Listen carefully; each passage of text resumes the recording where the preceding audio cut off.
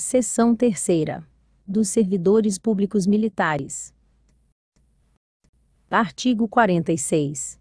Os integrantes da Brigada Militar e do Corpo de Bombeiros Militar são servidores públicos militares do Estado regidos por estatutos próprios, estabelecidos em lei complementar, observado o seguinte: inciso 1 remuneração especial do trabalho, que exceder a jornada de 40 horas semanais, bem como do trabalho noturno, e outras vantagens que a lei determinar, segundo acesso a cursos ou concursos que signifiquem ascensão funcional, independentemente de idade e de estado civil. Terceiro regime de dedicação exclusiva, nos termos da lei, ressalvado disposto na Constituição Federal. Quarta estabilidade às praças com cinco anos de efetivo serviço prestado à corporação.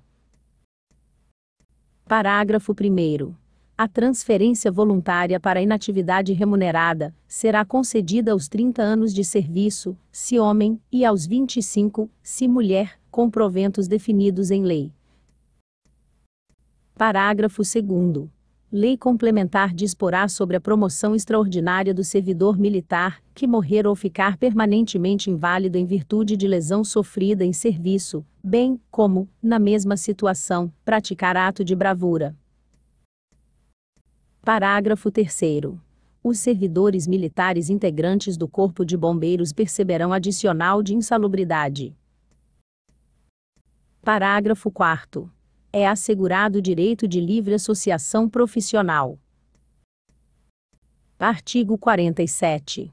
Aplicam-se aos servidores públicos militares do Estado as normas pertinentes da Constituição Federal e as gerais que a União, no exercício de sua competência, editar, bem como disposto nos artigos 29, 1, 2, 3, 5, 9, 10, 11, 12 e 13, 32, parágrafo 1 33 e parágrafos 1, 2, 3 e 4, 35, 36, 37, 38, parágrafo 3, 40, 41, 42, 43, 44 e 45 da seção anterior.